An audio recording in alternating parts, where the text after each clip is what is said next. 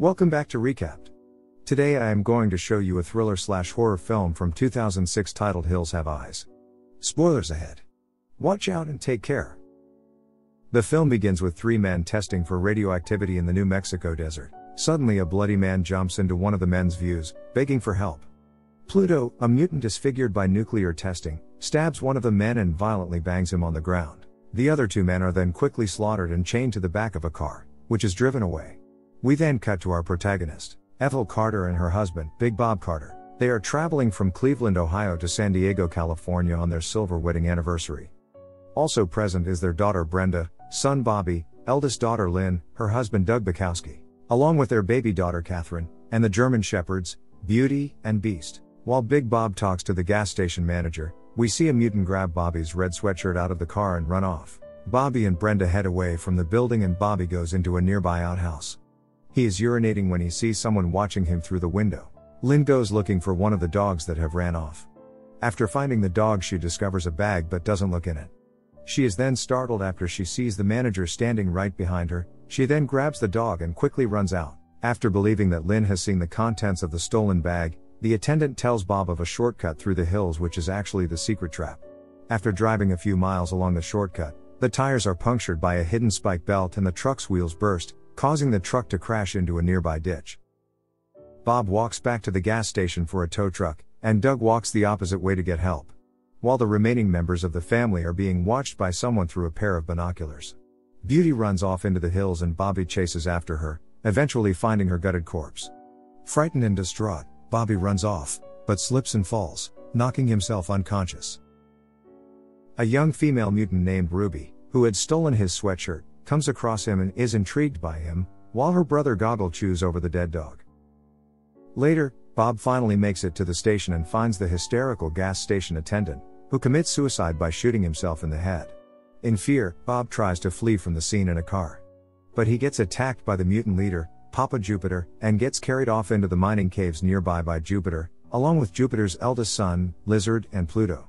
When Bobby awakes, he returns to the trailer and does not tell his family of Beauty's demise. Lynn tells him that they tried the CB and heard heavy breathing. Doug returns from the road he traveled, with a fishing pole, a baseball bat, and a teddy bear. Meanwhile, Beast breaks free of his chain and runs into the hills where he finds what's left of Beauty. Bobby is worried about his father who has not yet returned. Doug promises Bobby they will search for Bob if he does not return by midnight. As they try to sleep, Pluto sneaks into the trailer, finds Brenda, and attempts to take advantage of her.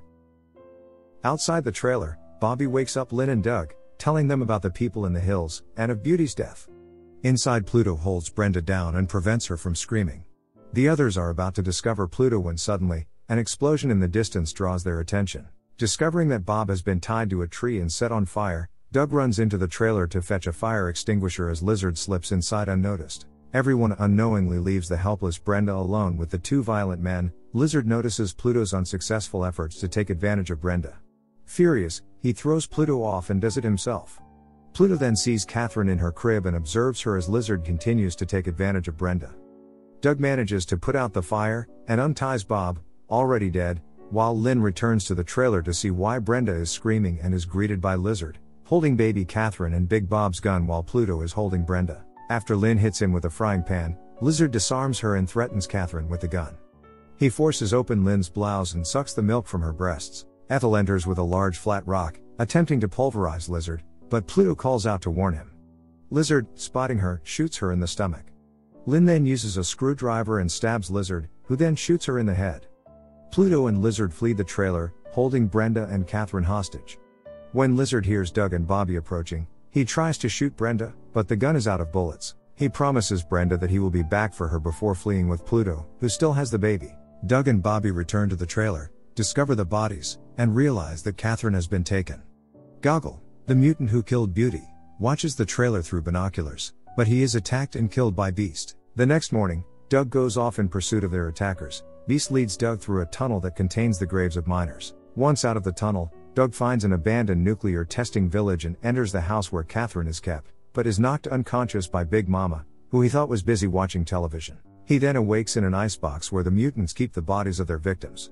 He panics and bangs on the plastic cover, eventually knocking it loose. He returns to his task of finding Catherine, only to encounter Big Brain, who tells him the story of the mutants, who were mutated by the fallout from the nuclear tests, and then getting attacked by Pluto, who breaks through a door. After a fierce struggle, during which Doug loses the ring finger and pinky on his left hand, he is able to trick him by pretending to cry. Pluto laughs and gets momentarily distracted, giving Doug time to slam a screwdriver through his foot in the floor, pinning him down. He then takes a small American flag and shoves it through the back of Pluto's throat, and finally finishes him by slamming the blade of his own axe into his head. Doug then surprises the mutant cyst outside the house and uses Pluto's axe to kill him, chopping his knee open and knocking him over the hood of a car, where he is axed in the back and is finally killed when Doug swings the pick end into his eye. Doug takes his shotgun and heads off. Big Brain tells Lizard to kill Catherine, but is killed by Beast. Lizard takes a cleaver and prepares to kill Catherine, but finds that instead of Catherine, it is a pig. Ruby has taken Catherine and run into the hills. Doug sees Ruby on the hill and chases her as well. At the trailer, Ethel's body is stolen and dragged into the hills, and Bobby finds Papa Jupiter eating Ethel's heart. Jupiter pursues Bobby to the trailer, where Brenda releases gas from the propane tanks as Bobby runs inside, attaching a strip of matches to the sliding door behind him. Bobby binds Papa Jupiter's hand to the window.